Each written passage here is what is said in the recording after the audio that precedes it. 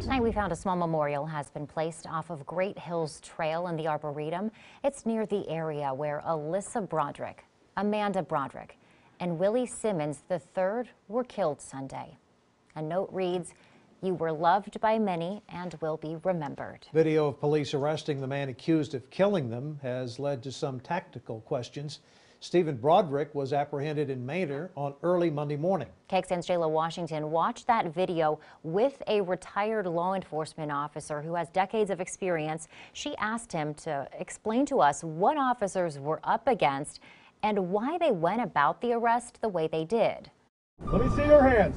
Dash cam footage showing Stephen Broderick's arrest, who police called armed and dangerous. Fingers on top of your head. Shows while he's being cuffed, his right hand is free, just momentarily, which was close to his pistol on his waistband before being confiscated by an officer.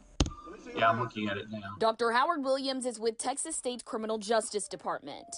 He's also a former Austin Police Department officer of 25 years, was San Marcos's police chief for 11. Does anything in particular stand out to you when you watch that arrest video? That was textbook.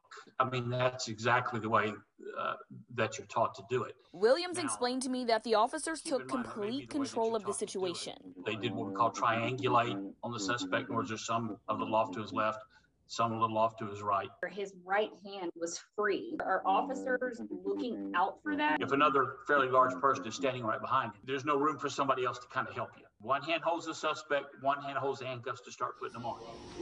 And Daunte Wright's arrest in Minneapolis, who was shot and killed not a threat like Broderick. There's really no comparing the two. You can see police used similar tactics, and there was a struggle. The difference between these two cases, he's not in a car. He's standing out on the street. He's surrounded by officers. But a situation can escalate at a moment's notice. And how do you safely detain individuals? You can't always safely detain people. Jala Washington, KXAN News.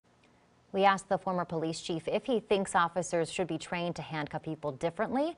He said the way it's done now is the most practical, but said police are always looking for ways to improve practices.